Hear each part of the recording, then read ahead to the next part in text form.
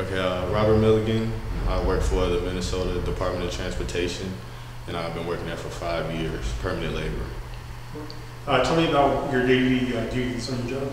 Uh, daily duties is um, basically whatever they give us. Uh, it could be patching potholes one day, uh, changing oils on the truck, um, uh, clearing sidewalks, bridges, uh, picking up debris on the side of the road, mostly on the highways. Uh, um, what else? Um, cable guardrail, uh, name it. Outside, we probably can do it. Okay. What do you enjoy most about your job? Oh, I enjoy most is uh, it's a different activity every day. It's not just one thing that we do.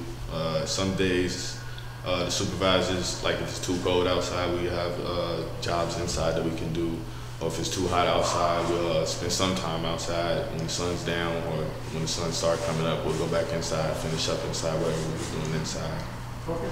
Um, tell me about your, how your training here at TCU prepared you for your job. my training here uh, prepared me because um, just to be around in a professional environment, just uh, just having that adaptability to uh, change and um, be be prepared for whatever I needed to uh, be prepared for, especially with the hands-on training. I know back at the museum we did a lot of a lot of stuff with tools and painting and stuff like that, so that helped me a lot. Okay. Um, what advice would you give to current or future TCU students about, uh, about the training here? Uh, the advice I would give would be uh, try to learn as much as you can and um, try to use that to uh, make you better. Uh, just just um, use all the information that, that uh, all the teachers and instructors give you. That's about it. Uh, where do you see yourself in five, ten years? Uh, five, ten years, I you look to see myself um, at a higher position at my job. Right now, I'm at the lower position. Uh, that's the permanent laborer.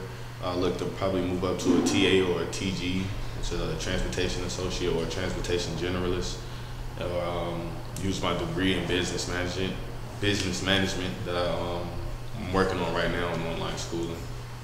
So are they helping you in school?